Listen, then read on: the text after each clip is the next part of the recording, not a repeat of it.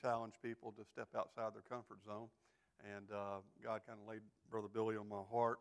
I didn't want this to be the Wade Copeland show today, and I'm the only face you've, you've seen so far.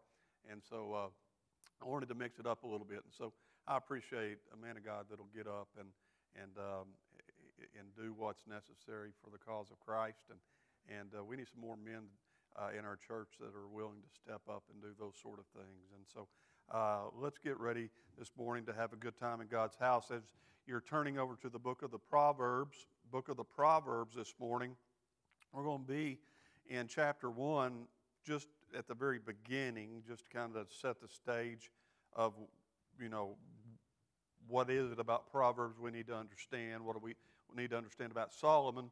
And then we'll be over to uh, Proverbs 24 for our text this morning. And, uh, and so I uh, want to encourage you this morning to, to do as we said as, at the beginning open your hearts. Uh, I assure you this morning that the, the subject matter is a difficult subject matter. It's something that I've really struggled with. with. You can ask Rhonda. I don't know that I've ever struggled with a message as much as I have this one. I tried so many times to go a different direction, and God kept bringing me back here. And so, y'all pray for me this morning.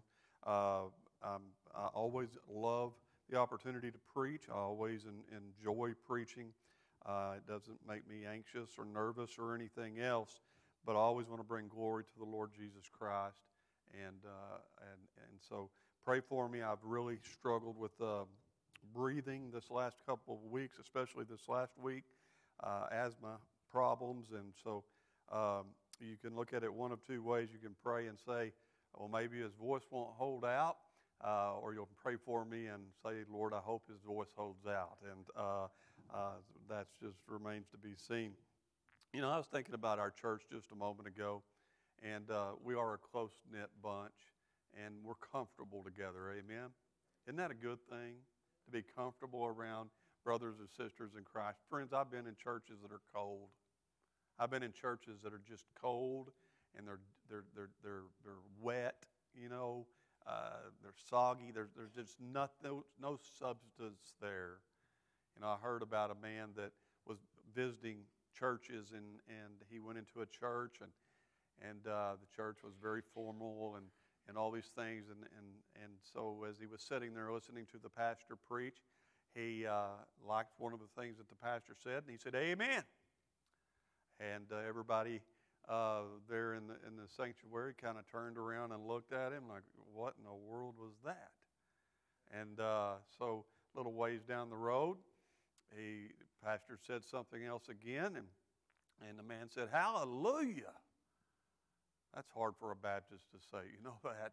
Uh, hallelujah. And uh, I mean, now every head in the place turned and they looked, and here comes the usher. And the usher tapped on the fellow's shoulder and said, What are you doing?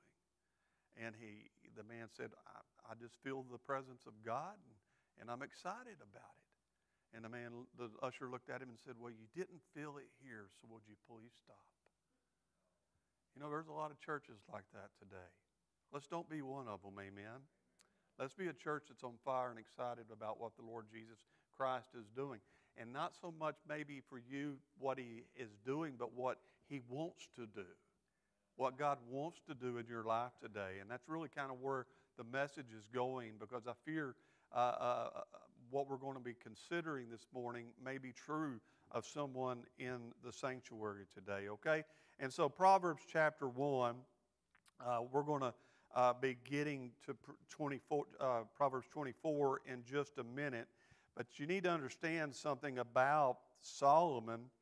Uh, he spells out his purpose in the very few, first few verses of chapter 1 uh, with regards to the Proverbs and what they are.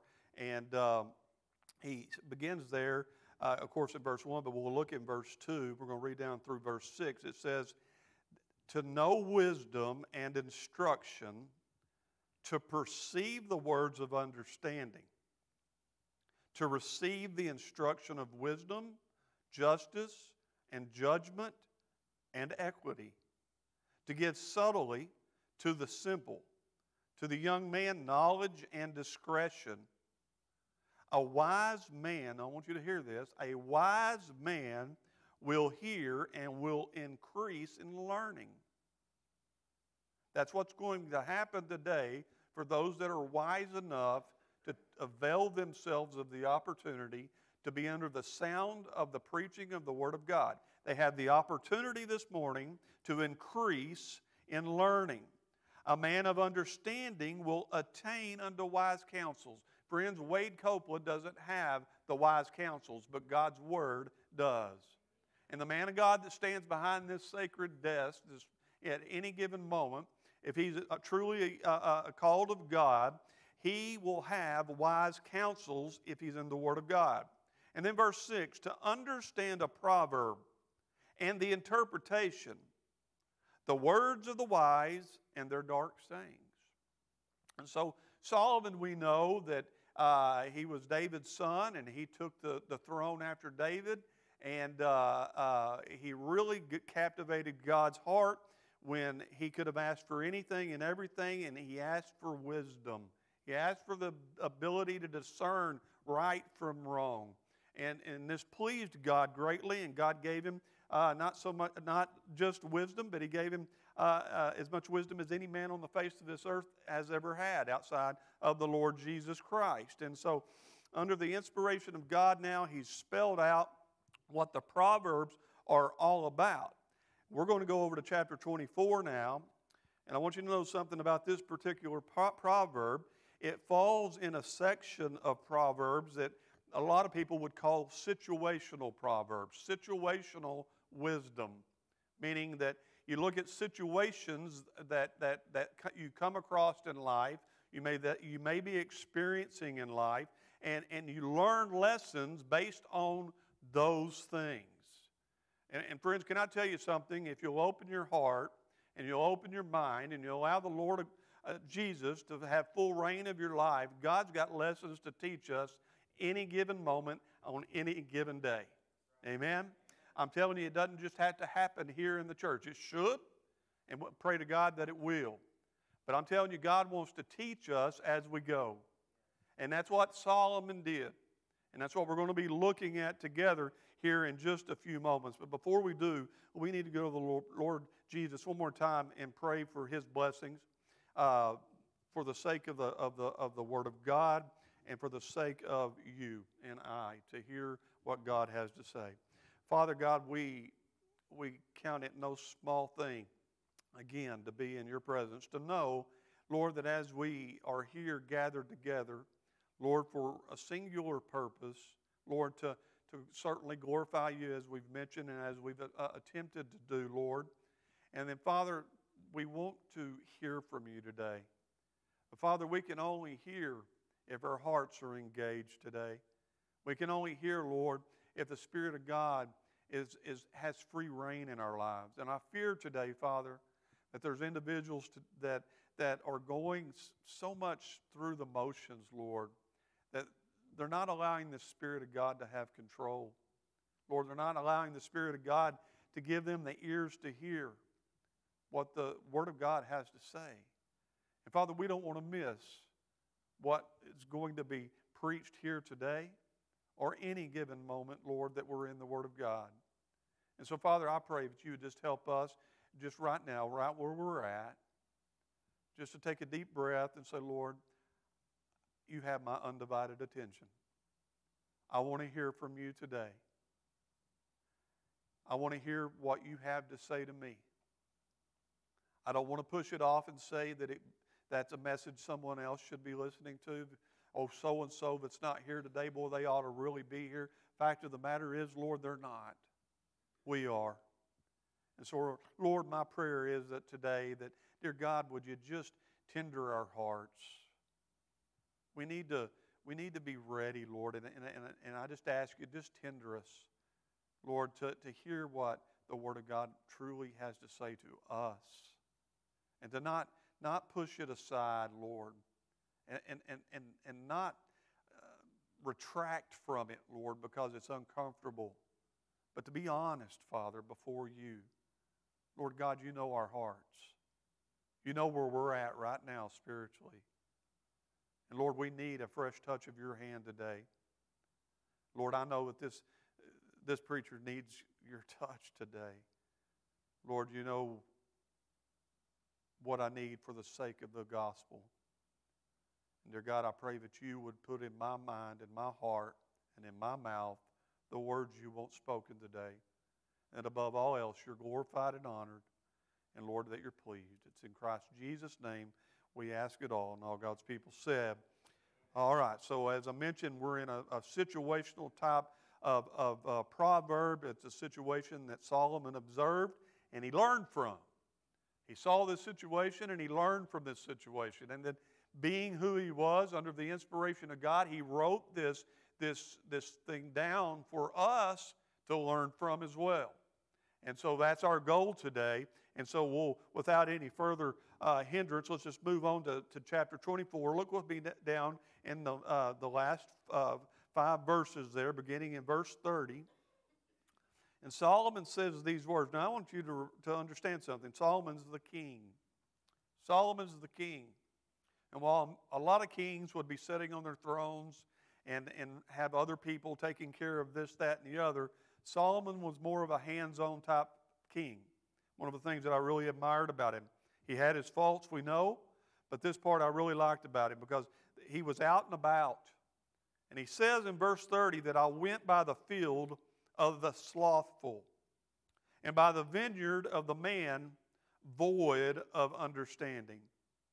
And lo, it was all grown over with thorns and nettles had covered the face thereof, and the stone wall thereof was broken down.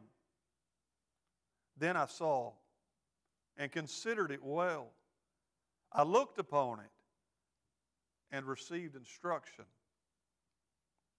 Yet a little sleep, a little slumber, a little folding of the hands to sleep, so shall thy poverty come as one that traveleth, and thy want as one, or excuse me, as an armed man. You know, folks, we can't turn on our TVs today without seeing tragedies. We can't turn on our TVs today without seeing one tragedy or another. There's tragedies across the world. There's tragedies taking place right here in our country. There's tragedies taking place in our state. There's certainly tragedies that have happened and taken place here in Wichita Falls. And, and eh, we perhaps have experienced tragedies in our homes. But I don't think there's any greater tragedy. In fact, I think it's a tragedy that really is at the root of all other tragedies in some shape, form, or fashion than what is potentially taking place in churches even this morning. Perhaps even here at Liberty Baptist. The tragedy of spiritual laziness, the tragedy of apathy. Spiritual laziness and apathy, as I read it from the perspective of Solomon, is a tragedy. It's tragic. And so that's what I want to talk to you about this morning. And I want you to be real cautious. As I prayed just a moment ago for us as we go through this message, not to be guilty of thinking, oh, I wish so and so was here to hear this. Or I wish my, my, my family member was, was here to hear this. Friends, you're here this morning. And, and, and I believe in a sovereign God. Can I get an amen? I don't believe in accidents with God. And because there are no accidents with God, and because you are here today, you're here with a purpose. All right? God's purpose is to speak to you today. Yes, He wants to speak to your neighbor. Yes, He wants to speak to the one across the aisle. Yes, He wants to speak to even old Brother Motley back there. But He wants to speak to you. And I didn't say old, brother, I said old. We're going to look at this tragedy, this tragedy of spiritual laziness that I believe has infiltrated the church and, and it's become more and more prevalent. And, and this laziness leads to this apathy. What is apathy? It's just a lack of concern, it's a lack of care, it's a lack of desire to to, to do anything. And friends, when it comes to spiritual matters, that, that is tragic. And we must deal with it. We must be able to recognize it, number one, and that's what we find. And in verse uh, 30, we find Solomon as he's walking, he goes by this field and he says, Hey, I, I went by the field of the slothful and by the vineyard of the man void of understanding. Solomon gives two descriptions of a man. Two descriptions of a man whose property he went by. It's interesting, isn't it? It's interesting what can be deduced about a person by just looking at their life, just looking at the fruits of their lives. And before you say, well, that's judgmental, Brother Wade, uh, you, you shouldn't judge people that way. Hey, hey, slow down just a little bit. Jesus made it very clear in Matthew chapter 7 in verse 16 through 20. He said, Ye shall know them by their fruits. You can look at a person's life and you can get a pretty good indication of where they are spiritually. You can take a, a look at a, a, person's life and, and, and, and, everything about their life, and you get a pretty good indication of, of how solid they are and how foundational they are in their faith. Jesus goes on to say, Do men gather grapes of, th- of thorns or figs of thistles? Of course not. Even so, every good tree bringeth forth good fruit, but a corrupt tree bringeth forth evil fruit. What's he talking about? The fruit of our lives. That which, which comes from a life and how it's lived. He goes on to say, a good tree cannot bring forth evil fruit, neither can a corrupt tree bring forth good fruit. Every tree that bringeth not forth good fruit is hewn down, it's cut down, and it's cast into the fire. Wherefore, by their fruits ye shall know them. Friends, our lives reflect where we are spiritually. And that reflection can be seen. The problem is, are we seeing it? Are we taking note? Think about the language he uses. The word slothful literally just means that this man was not only lazy, he was given to laziness. He, he was given to laziness. He goes on to call this man a man void of understanding void of understanding. And, and, and eh, that literally means that he didn't have any heart for what it took to maintain that field and that vineyard. He, he had no desire. It, it was not in his heart any longer. In other words, it was obvious to Solomon that this man had apathy. He could care less. He could care less about, about the fruit of his labor. He wasn't even interested in it. You know, you could, like I said, you could, you could, a whole lot of things you can tell about a person. And I don't want to oversimplify this, but I couldn't help but, think back to my childhood. I had a mama and papa, that's what I called them. And they were pretty old when, when, when I was a little boy. I have some of the fondest memories of being over at my mama and papa's house. I want to tell you something, they were poor. They were poor. In terms of material possessions, they had nothing. My friends, let me tell you about what they did have. They had a little two bedroom house. A little two bedroom house that when I walked in the doors, you could be sure the floors were going to be swept. The furniture was going to be dusted. Everything was going to be put up and in its place. It wasn't a fancy house. He had the old asbestos shingle siding on the sides. Had that old squeaky uh, screen door. Had that hollow core front door that leaked air, and the windows they leaked air, and and so there was a number of times that my mama would be we would be sweeping the floor on a, on, on a, two or three times a day basis.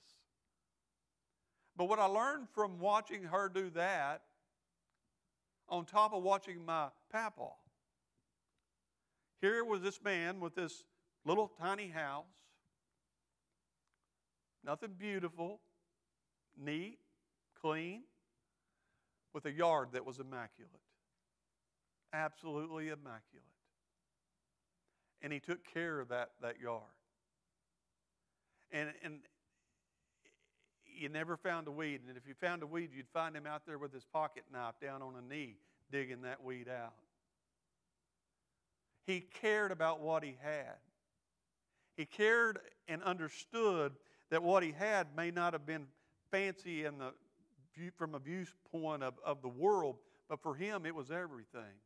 For my mama, it was everything. Can I tell you, it instilled in me a, a, an understanding that, that what I have comes from God and I should nurture it and I should take care of it and it should show that, that, that I'm, I'm, I'm proud of what God's given me. And that's a simple, simple truth, but it really has great spiritual import. That which you nurture will grow. That which you take care of will, will, will flourish. What I find interesting about this very first verse is not so much uh, the, yet the, the, the field or the vineyard, it's the description, the description we see of the man. You know? As he walks by, he sees this field, he sees this vineyard, but what, where does his mind go? Where does Solomon's mind go? It goes to the man that owns that field. It goes to that man. It doesn't go to the field, it goes to him. And it's a reflection of that man. It's a condition of that man that Solomon uh, uh, saw. Friends, our, our daily lives really and truly reflect who we are. Did you hear what I said? Our daily lives are a reflection of who we are. We may not like that, it's the truth nonetheless. There's nothing that gives us a clearer picture of who we are than the Word of God. Don't you love that? I need the Word of God to, to, to open my eyes to where I'm at spiritually, to open my eyes to, to who I am, and, and perhaps maybe a road that I'm going down I shouldn't be going down. I need the stop signs we find in the Word of God. I need the directions that we find in the Word of God. I need the input that God's Word gives to us. James tells us about not being just doers of the Word and hearers, or rather being doers of the word and not just hearers, deceiving ourselves. He goes on to say, For if any man be a hearer of the word, in other words, if you're sitting here this morning and you're just listening to this message, and you and you get a glimpse of what God's wanting you to see about your life right now, and you walk away from it, you're like a man that beholds yourself in a mirror, a natural glass, the Word of God says, and you turn away from it and you go your way and you forget what you just saw. The Word of God gives us a reflection of where we are spiritually. The Word of God is what we need to stay on track. I ask you a question this morning, and it's perhaps one of the most significant questions I could ask you. What does Jesus see when he looks at your life?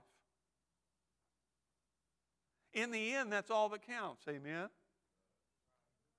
What does Jesus see when he looks at your life? Friends, make no mistake, we're in dangerous times. It's becoming easier and easier and easier to slip away from the things of God. We're seeing it in our churches. I know that this is a holiday weekend. And I know, you know, even our pastor needed to get away, and I'm grateful that he, he and his family were able to do that. They need to be able to do that from time to time. But I assure you that, that he's in God's house this morning somewhere. Hopefully not in Arkansas. No, I'm just kidding. I got family in Arkansas. But friends, I, I'm, I'm telling you, we need to understand that we're in dangerous times. The Word of God gives us the warnings we need to be alert to what's going on around us, how we need to stand, and how we need to walk and live. When you look over in Ephesians chapter 5, The Apostle Paul, under the inspiration of the Holy Spirit, verse 14 says, Wherefore he saith, Awake, thou that sleepest, arise from the dead, and Christ shall give thee light. See then that you walk circumspectly. What does circumspectly mean? Meaning that you're alert to what's going on around you. You're alert to who you are. You are you're alert that you're walking towards a trap. Because Satan's a liar and, and he's a lion and he's, he's seeking whom he may devour at any given moment. And friends, those aren't just so many words. When the Word of God warns us, we must heed it. Walk circumspectly, he says, not as fools, but as wise, redeeming the time because the days are evil. How much more so is that true today in our own lives? Could it be said of you that you're slothful this morning? I'm not pointing your, the finger at you. I'm telling you, God dealt with me mightily in this message. Could it be that we're slothful and that we lack understanding? Let me give you some things to consider when you consider those two questions. Are you in the Word of God daily? Or can you easily skip over a day? Can you tell when you haven't been in God's Word?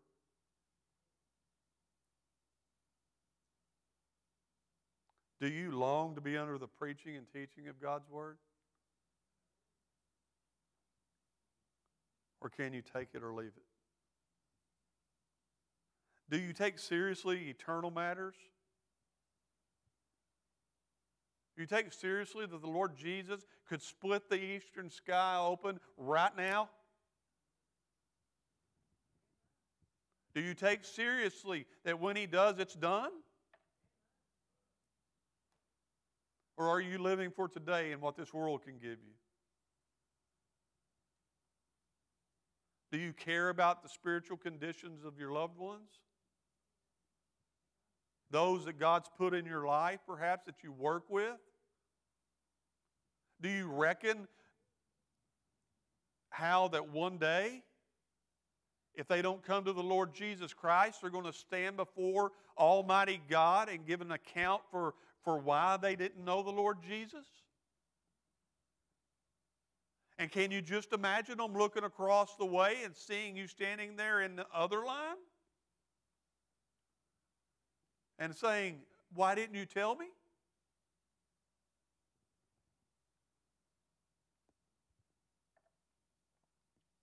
Friends, it's a tragic, tragic thing when we become spiritually lazy.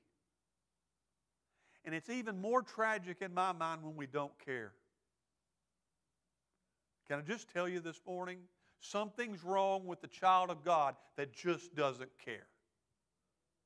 There's something wrong with the church that doesn't have any enthusiasm for seeing people get come to Christ. There's something wrong with, with, with the church today when, when they just come to church for the sake of patting themselves on the back and, and, and saying, I, I did it today. There's something wrong today when we can just go through the motions. And I know I talk about the motions a lot. I know I talk about routine a lot. I know I talk about getting into a rut a lot. And I don't know why, but I guess God really, really has convicted me of that over the years that I don't want to ever get into a moment or a time where I'm just doing it for the sake of doing it. There's eternal consequences at stake. We will stand, and listen to me, believer, we will stand and give an answer. Oh, it don't have any bearing on your eternal destination, friends, but I promise you, it will have a bearing on your eternal reward. And what a shame it'll be when the Lord Jesus comes back. And we have to, according to Scripture, duck our heads in shame because the Bible says that there will be those that are ashamed at his coming. Why would they be ashamed? Oh, maybe because they were lazy? Maybe because any given Sunday they just, I, I don't feel like going to church today. Any given Monday, I, I don't really have time to spend any time in God's Word. And worse than that, they don't care. They don't even care. It's tragic. It's tragic. Make no mistake, friends, failure to be engaged spiritually, failure to grow in the Lord daily can and it will lead to spiritual laziness and spiritual apathy.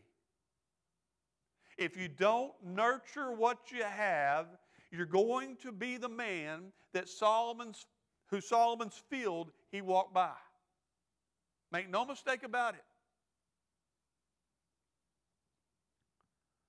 I'm fearful that if we're just honest before God and with ourselves, that, that we could find ourselves being described as this man. But hey, if we do, do you know, we can get it straightened out. We serve a God of mercy. We serve a God of restoration. Amen. I'm grateful for that. Amen. I'm telling you, friends, right now, and I've tried to be as transparent with you over the years that I've been here with you as I can possibly be. But I'm going to tell you some of these things that God has allowed me to preach, most of which uh, here of late have been things that I have dealt with firsthand. I know what happens when we let our guard down. I know what happens when we get spiritually lazy. I know what happened. You say, well, Brother Wade, I can't believe you were ever spiritually lazy. Friends, you're spiritually lazy when you don't get into the Word of God every day. I keep telling you that, but it's true. You're spiritual lazy when you, when, when, you say, Brother Wade, you talk about coming to church all the time. Yes, I do, because that's what the Bible says. The Bible says, don't forsake it. And friends, I'm sorry, I'm not going to apologize for that. If the Bible says don't forsake it, then guess what? We don't forsake it. Amen. And the Bible says, not, and so much the more as you see the day approaching. Do you see the day approaching? Not if you're apathetic, because you just don't care. Oh, Brother Wade, I care. Do you? Is it showing? Is it showing in your life? Because in this gentleman's life here, it wasn't. It wasn't. Secondly, I want you to see that this tragedy is so destructive. It's so destructive. This tragedy of being lazy spiritually, this tragedy of, of being apathetic, just not really caring. Oh, yeah, we may tongue in cheek it. We, we, may, we may look at our brother or sister in Christ and, and put on that, that, that fakeness that we can all do as though we really care. But friends, you don't fake it with God. You're not pulling one over on God this morning. He knows where you're at spiritually. And friend, I'm going to tell you something. He wouldn't let me run from it. He's not going to let you run from it. It's too tragic.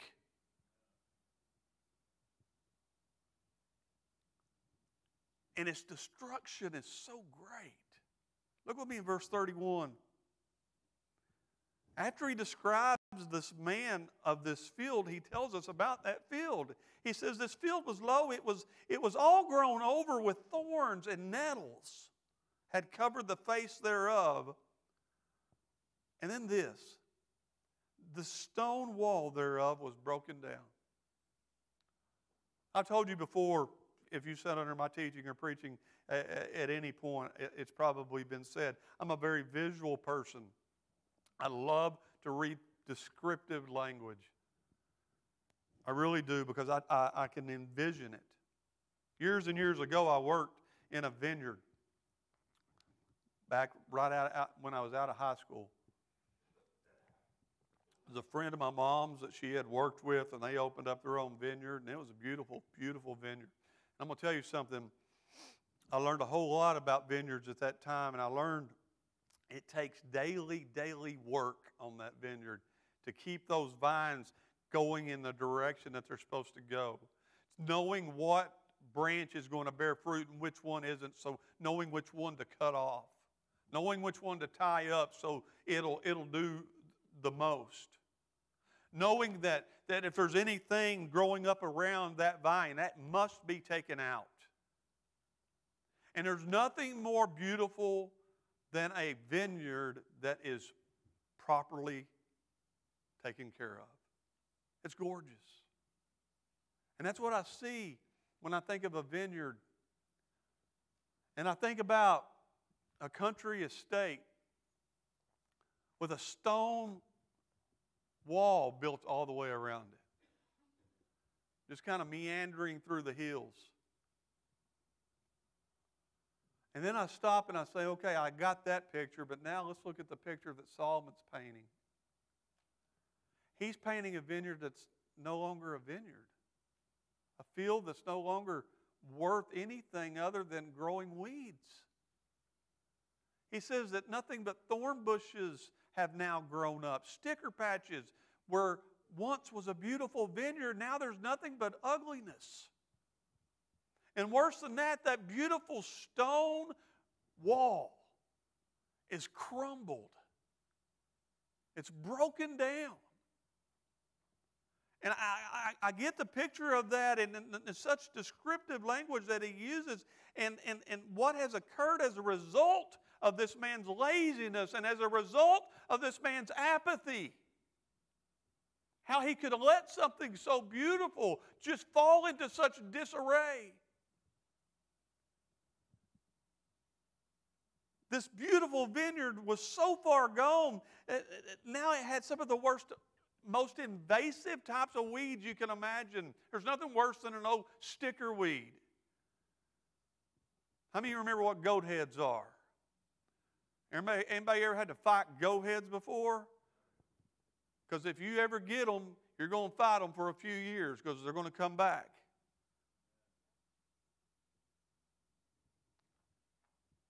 I've got this stuff coming up in my yard, and, and, and I think it's from some some soil that we bought in, in, in, in bags, and, and, and it's called nut grass. And you know that nut grass is crazy because you can't pull it up. You can try to pull it up and you'll th- you can pull on it and you think you get it out, but guess what? Unless you got the little nut that's at the bottom of it, it's, it's coming back. And I've sprayed it and I've sprayed it and I've tilled it and I've tried to mechanically get it out and it's still, I still have it in the yard. Why, why am I making a big deal out of this? Because, friends, it, when you have a garden, you can't take a day off. When you're trying to grow something good, you can't take a day off from keeping the bad out. You, you, you can't take a break from it. You can't, you can't just ignore it because uh, that's when things get bad. That's when the invasion of weeds come along. You say, Brother Wade, what is, how does that apply? Well, friends, let me tell you something. Anything in our lives God doesn't want is a weed. Do you know that's the definition of a weed? Any undesirable plant? If I had a vineyard and I had a, a uh, rose bush come up in the middle of it, literally I could call that, that rose bush a weed. It's anything undesired, anything that does not belong. Do you see the application in our lives? If we aren't conscientious about where we're at spiritually, if we're not taking note to not be lazy, if, if, we're, not, if we're not emphatic about doing the things that God has called us to do, friends, we'll get to a place where weeds will begin to pop up. And the problem is, is, is, is once you get one and you let it go, they'll take over. They'll be, they'll be, over, they'll be overgrown before in, in no time. Next door to our house, there's a house that burned down. It's still there, but for all intents and purposes, it burned down.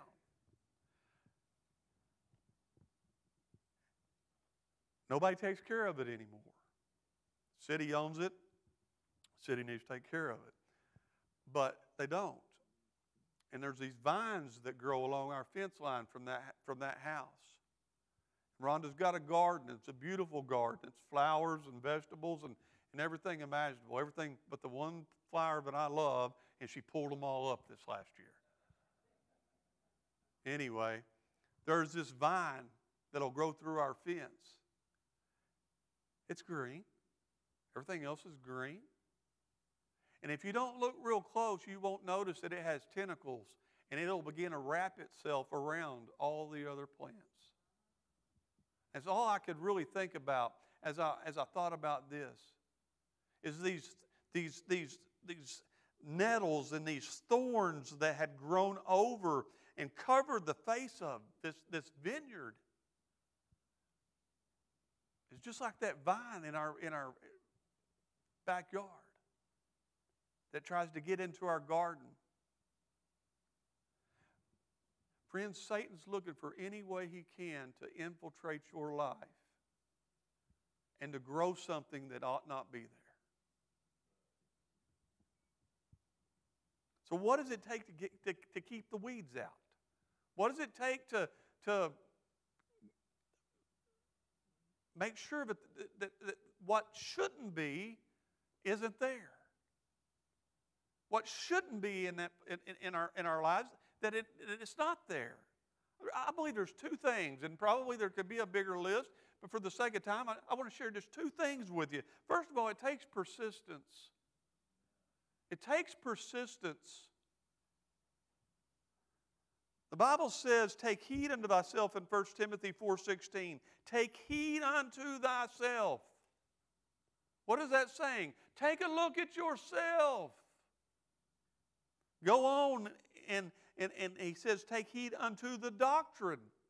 So you t- take heed unto yourself, and you take heed to thus saith the Lord. How are the two meshing? Do I listen to what God's word says?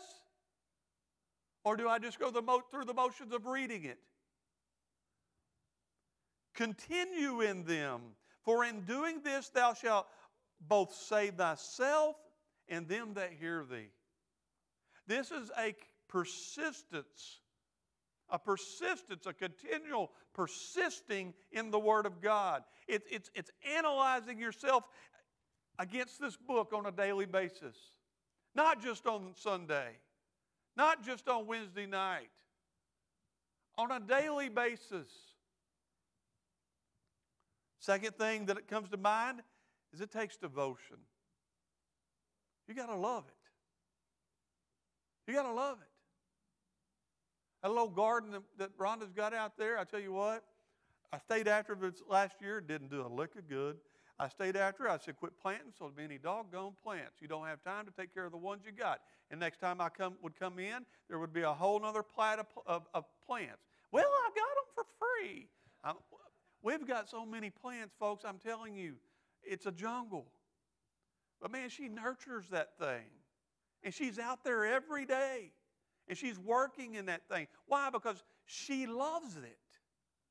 She loves those plants. She loves that garden. She, she loves to see the fruit coming off that squash plant. She loves to see those peppers coming off that pepper plant. She loves to see the beautiful flowers when they're blooming the way they're supposed to. She, she acknowledges uh, the fact that she loves it and how she treats it. Are you following me this morning? What do you love?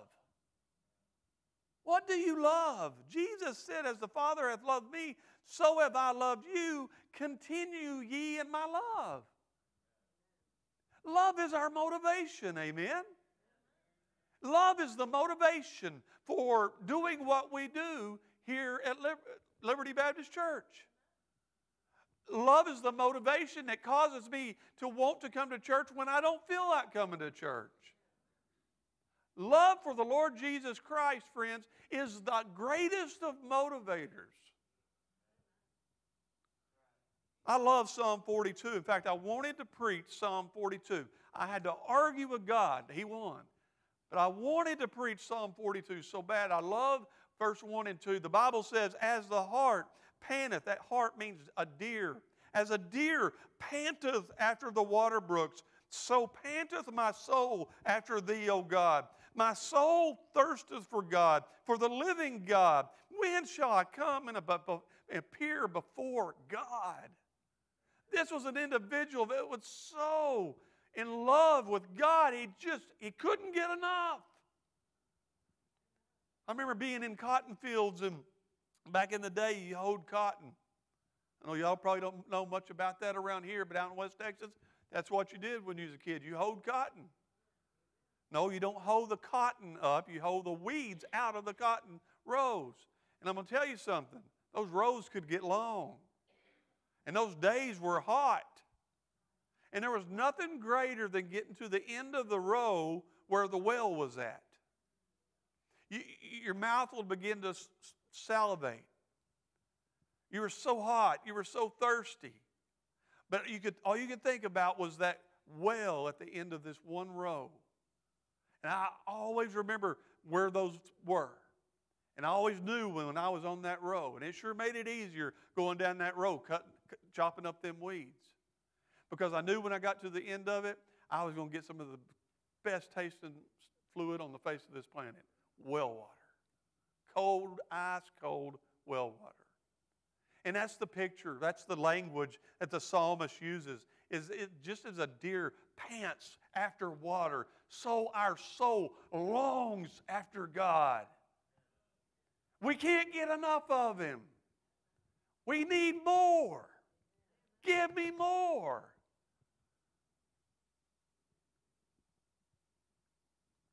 It takes devotion. Well, the weeds, they can be taken care of, but what about the wall? What, what, what is it about this wall?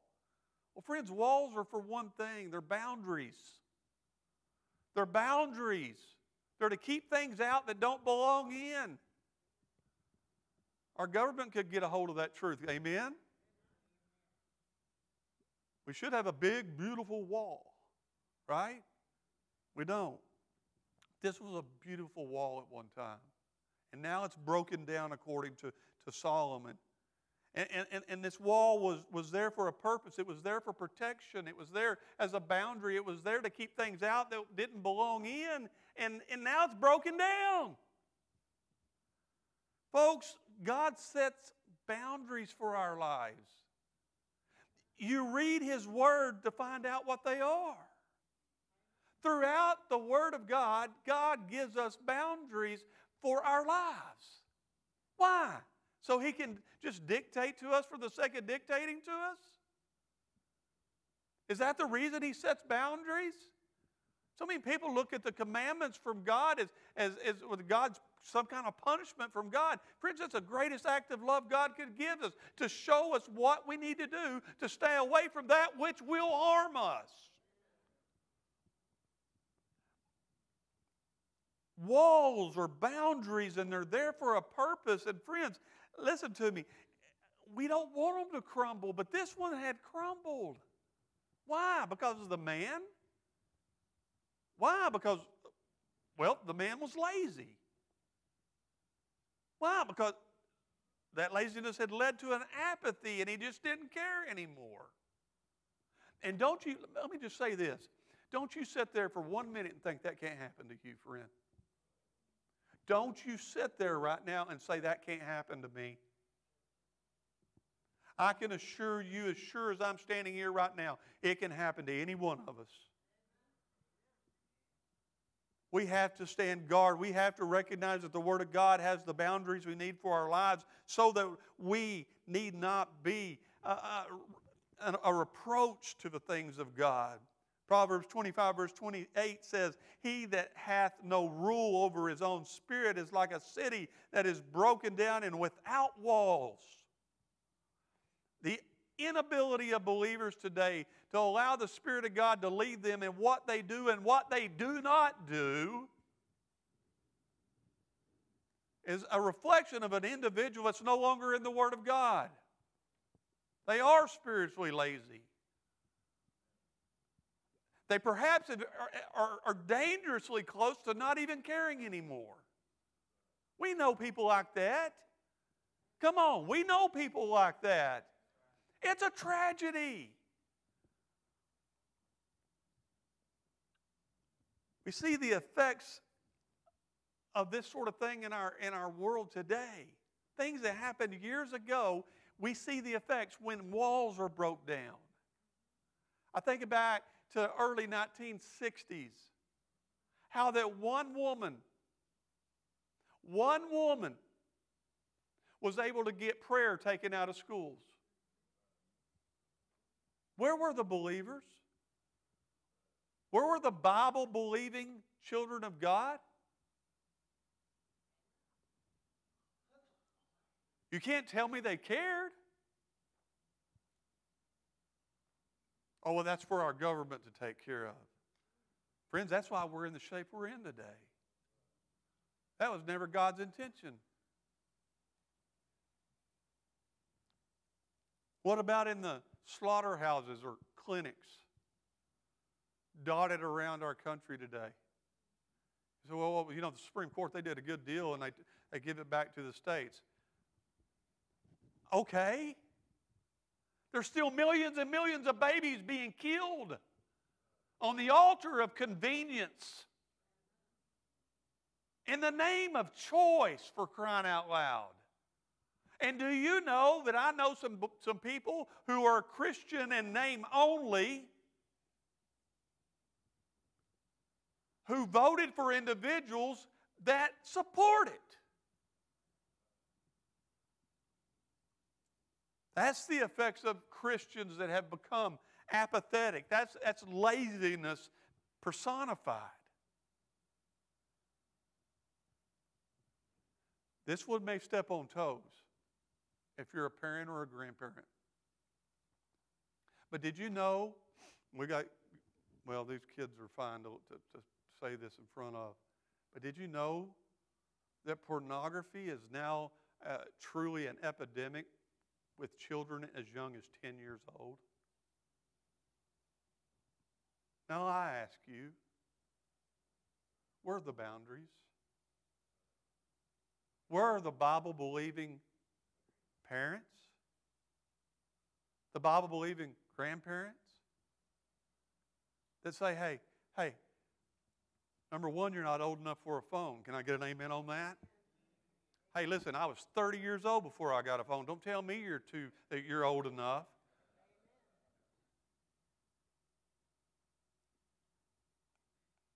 We need some parents today that have some boundaries still in place and, and, and they'll say no to a child. And if that child must have a phone, then there are parental controls, parents. How can it be that 10 year olds, it's an epidemic today? Because it's accessible, it's right there. But we've got Christians today, we've got Bible believing Christians today that are spiritually lazy.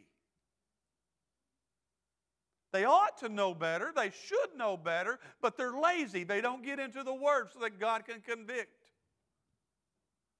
They're not faithful to God's house so that God can convict. And they've gotten to a place where they just don't care. Oh, little Susie, she'll be okay. Oh, little Billy, he'll be okay. You think so, huh?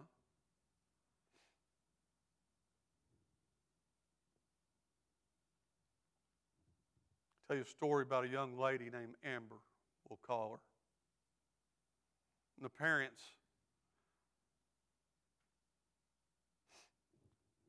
my home church had gotten saved, and man, they were on fire for the Lord Jesus Christ. Amber was a beautiful young lady. I mean, just absolutely beautiful. Had the whole world in front of her. Smart, intelligent, good in school. But in mom and daddy's eyes, they were saved, but they were growing. They couldn't get it through their heads that they had to say no from time to time. And they didn't know when to say no from time to time. They didn't set boundaries in Amber's life. And so Amber pretty well got to do what Amber wanted to do. This is 30 years ago. I'll never forget, I had just left to go to seminary when I got the phone call Amber's been killed.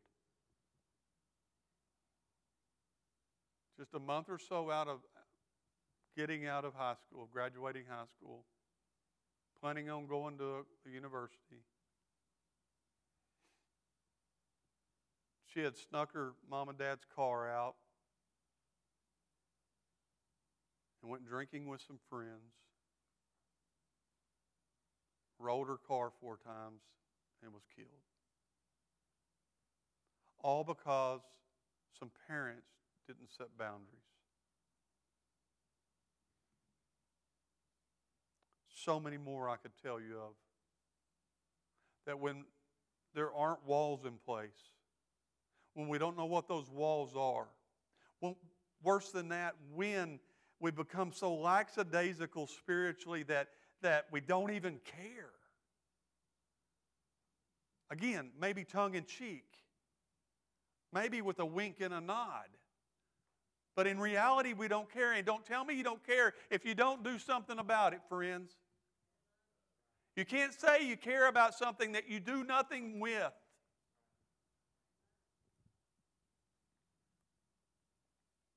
We've got this book. It gives us all the instructions we need for, for life and, and, and, and, to, to, to, be sanctified and, and to glorify our, our Heavenly Father and His Son. I love something that missionary Amy Carmichael said. She said, The amazing thing is that everyone who reads the Bible has the same joyful thing to say about it. In every land, in every language, it is the same tale. Where that book, the Bible, is read, not with the eyes only, but with the mind and the heart engaged, the life is changed. Sorrowful people are comforted, sinful people are transformed, people who were in the dark walk in the light. She asked this question Is it not wonderful to think that this book, right here, which is such a mighty power if it gets a chance to work in an honest heart, is in our hands today. There's power in this book.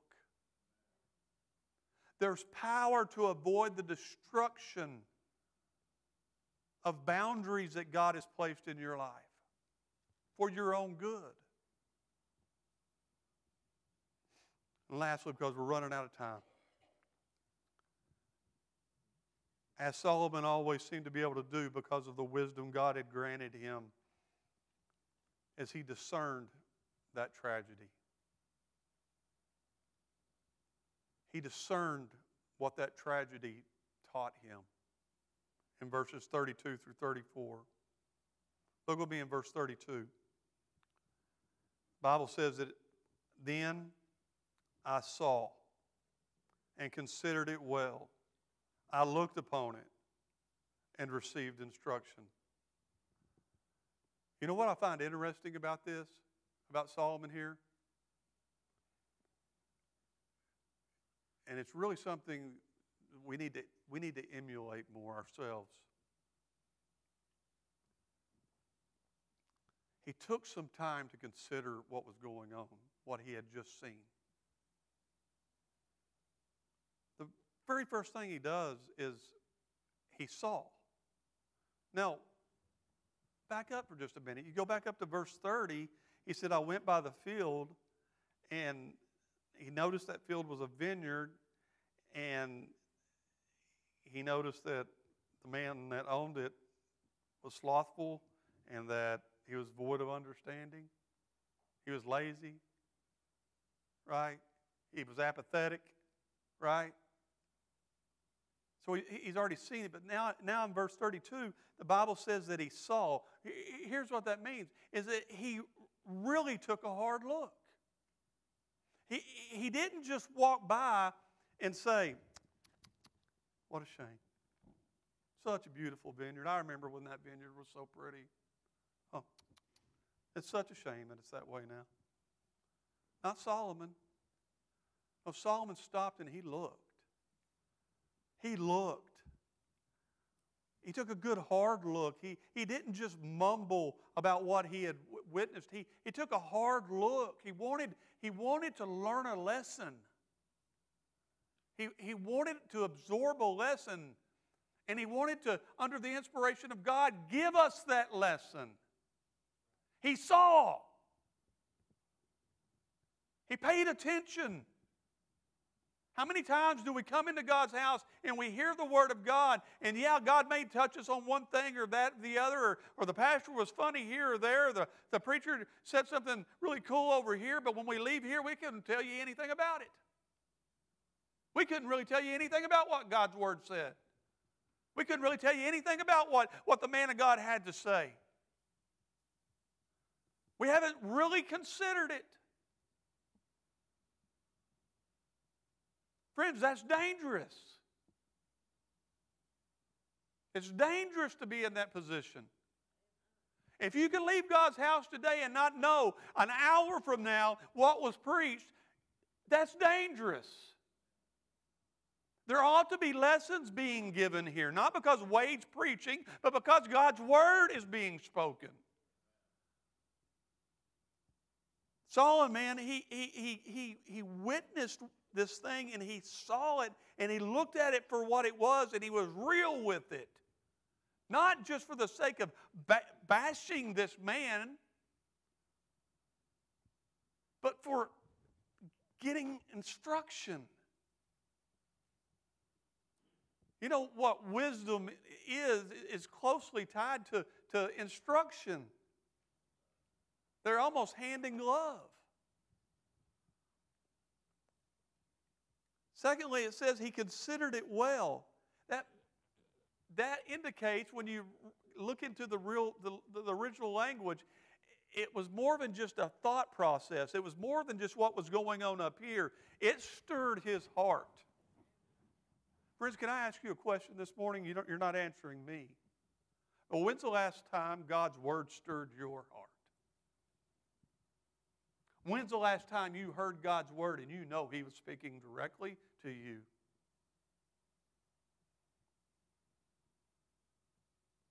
Can I tell you there is no more tragic situation than if you can sit here and say, I don't remember.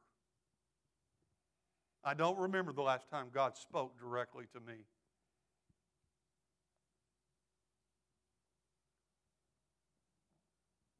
I'm going to tell you something. It, we can grieve the Holy Spirit of God by ignoring Him. You can grieve Him so long that you'll quench Him. Solomon didn't let that happen. He took this situation and he considered it well. Will you do the same this morning? Are you considering your own life? Or are you thinking about somebody else?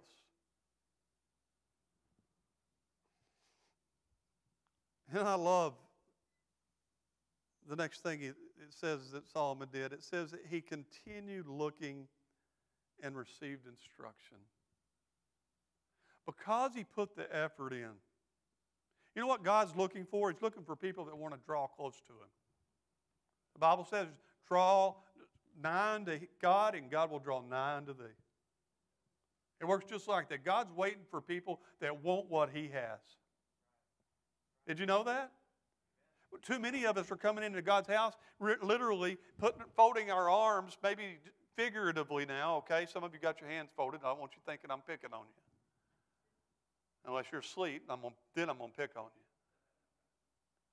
But literally, some of us come in here with this spiritual attitude bless me if you can, preacher. Bless me if you think you can. Hey, you're headed for tragedy. Do you want the blessing or do you want the tragedy? You need to consider it well. He continued looking and he received instruction. His heart was involved and he knew there was a lesson to be learned that he needed, so he received the instruction. And friends, when you get something from God, I'm going to tell you something. When you really get something from God, you aren't the same anymore. You can't be the same anymore.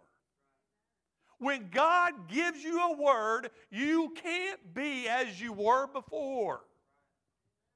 It happened when you got saved, amen? You were in, you were in death, you met Jesus, and you were in life. You were born again instantly. Why? Because you received Jesus Christ. You receive His Word as a child of God, guess what?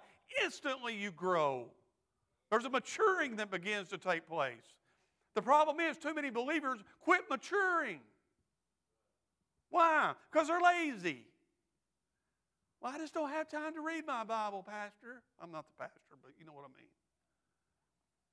I just don't have time to do that. Friends, you don't have time not to do that. You can't afford it.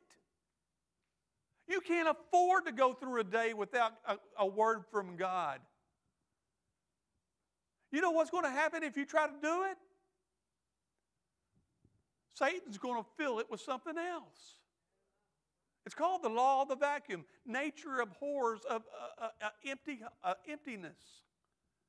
And so, if, if God doesn't have his rightful place, guess what's going to take the place of him? Satan's going to jump right there in the middle of it. Receive instruction. Take it to heart, put it to use. Allow God to do with you what he wants to do. I'm convinced that God's wanting to do some things with some people here at Liberty Baptist Church, and, and they're, just, they're, they're just not receiving the instruction. They're willing just to keep going the way they've been going, and they're not growing. What did he discern? Verse 33 tells us this, in verse 34 tells us exactly what he discerned after he considered it well. After he looked upon it and received instruction, he says, This is what I've learned. A little sleep, a little slumber, a little folding of the hands to sleep.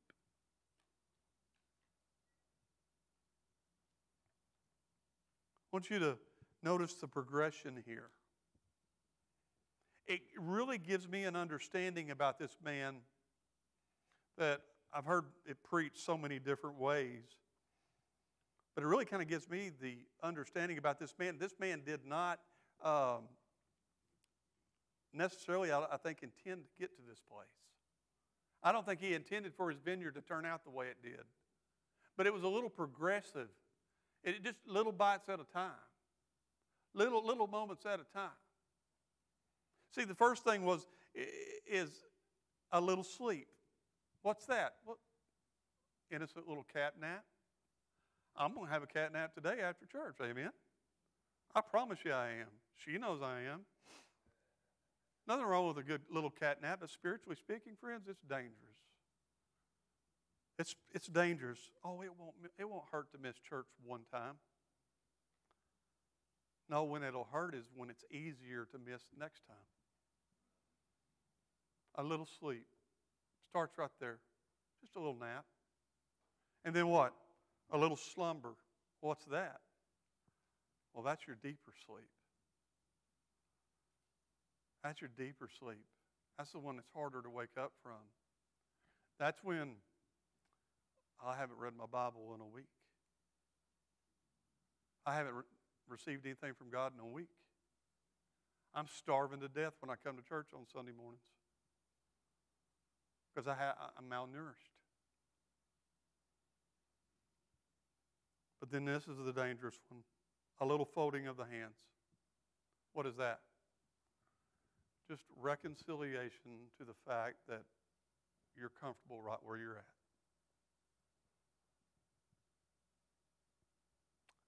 I've taken a little nap. I've taken a deep sleep. Yeah, you know what? This isn't so bad. I've missed church now two weeks in a row and hadn't read the Bible in two weeks, and everything's still okay. World hadn't fallen apart. Mark my words, it will. Mark my words, it won't be long till the weeds show up. Mark my words, boundaries that you have in your life right now that are, are absolutely non negotiable in your head will go away. You say, Brother Wade, there's no way that'll ever happen in my life. There's no way I'll ever allow that in my life. Friends, I'm going to tell you something. A little sleep, a little slumber, a little folding of the hands, guess what's going to happen? That non negotiable you just told me about, it's gone. The wall's broken down.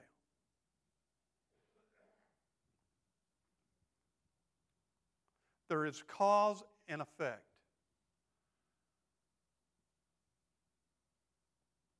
Failure to be diligent in Scripture spiritually opens us up to living as though we never even had the truth. And I know believers like that today. And can I tell you, there was a time, there was a time where it could be said of Wade Copeland. And I praise God for some godly people, namely one of them being my pastor, that looked at me and said, What are you doing? That's scriptural, by the way. I'm grateful for it. Spiritual poverty is what you and I were called to bring people out of, not to live in, friends. Our lives are that vineyard. Do you see that? God's built this beautiful vineyard in your life. If you go over to, to John chapter 15, he tells you, tells you all about it. And in that passage, he says these words I am the vine, ye are the branches. He that abideth in me, and I in him, the same shall bring forth much fruit. There's an abiding relationship that, that, that creates this beautiful vineyard we call life. Life this side of heaven. Did you hear me? Life this side of heaven. The abundant life that Jesus talked about. He wants to nurture that vineyard. You see, God's the husbandman, He's the one that tends the vineyard. Jesus is the vine, and we're branches within that vine. Let me tell you something. God is the husband. He don't let no walls get broke down. So why would we? Why would we allow weeds into our lives? Why would we allow things into our lives that at one time we would have said no way? Because a little sleep, a little slumber, a little folding of hands to sleep. The Bible says in verse 34 So shall thy poverty come as one that traveleth, and thy want as an armed man. And that literally just means you become something that's worthless. What a shame. In a world that needs Jesus more than ever before, that there would be a believer that is in that position. Oh, I beg God that's not the case with any of us here this morning. And I, and I beg God that if it is, that He'll alert us, and He's alerted us this morning, and we'll deal with that thing today. And we'll get those weeds pulled out today. Not tomorrow, today. Would you stand with me with your heads bowed and your eyes closed this morning? Father God, it was your word this morning.